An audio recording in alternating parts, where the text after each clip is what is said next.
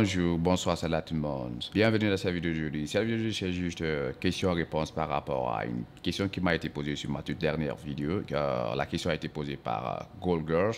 C'est ce que vous devez faire.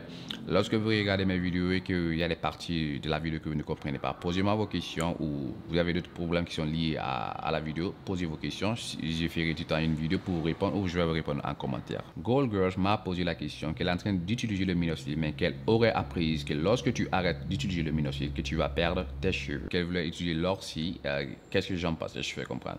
Les femmes en général, lorsqu'elles ont l'âge de 14 ans, 15 ans, 16 ans, 17 ans, 18 ans, 19 ans, elles produisent un hormone qu'on appelle l'estrogène. C'est ce qui les différencie de nous les hommes, je fais comprendre. Que de 14 ans jusqu'à 15 ans, 16 ans, 17 ans, elles produisent en grande quantité l'estrogène dans leur corps les femmes en général. De plus, le taux de production de cet hormone féminin qui est l'estrogène est élevé dans, dans, le corps des femmes. Le plus, le taux de protection des follicules de leurs cheveux est élevé contre les attaques du DHT qui surveillent de détruire nos, cheveux, je fais comprendre. Lorsqu'elles augmentent en âge à partir de 35 ans, le taux de production de l'estrogène dans leur corps diminue. Et lorsque le taux de production dans leur corps diminue, en ce moment, les follicules de leurs cheveux deviennent vulnérables aux attaques du DHT. Si ce n'est pas un problème génétique, ce n'est pas un problème alimentaire, ce n'est pas un problème de stress, la majeure partie des femmes qui perdent leurs cheveux sont dans leur trentaine, je fais comprendre. Voilà pourquoi lorsque vous augmentez en âge, vous devez changer votre vie alimentaire, je fais comprendre. Quand je dis votre alimentaire. Je veux dire par exemple que vous devez changer la manière dont vous mangez parce que les aliments que vous étiez en train de manger lorsque vous aviez 20 ans, 22 ans, 23 ans, 24 ans ne doivent plus être les mêmes aliments que vous devez être en train de manger lorsque vous avez 30 ans. Parce que vous voulez chercher à régulariser you vos hormones. Il y a certaines hormones, lorsque vous augmentez en âge, ça diminue, certains ça augmente.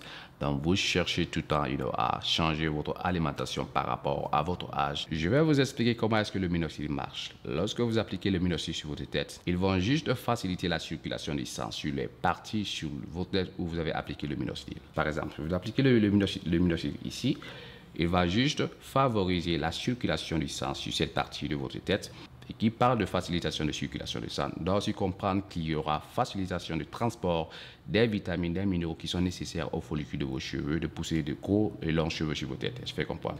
Donc c'est comme ça que le mécanisme marche. Lorsque vous arrêtez d'utiliser le, le, c'est le contraire, c'est le sens contraire. Vous arrêtez d'utiliser le, le minoxidil, la circulation du sang sur ces parties sur votre tête où vous ne poussez pas beaucoup de, cheveux diminue. Et lorsque ça diminue, le transport des vitamines et des minéraux qui sont favorables aux follicules de vos cheveux, de pousser de gros et longs cheveux, diminue aussi. Et lorsque ça diminue, vous commencez à pousser des cheveux fins et après des cheveux courts et après presque pas de cheveux sur vos têtes. fait comprendre. Donc, si vous n'êtes pas chanceuse, vous pouvez perdre tous vos cheveux et si vous êtes un peu chanceux, vous pouvez euh, encore garder un peu de cheveux sur vos têtes. fait comprendre l'utilisation des clubs. J'utilise aussi les clubs.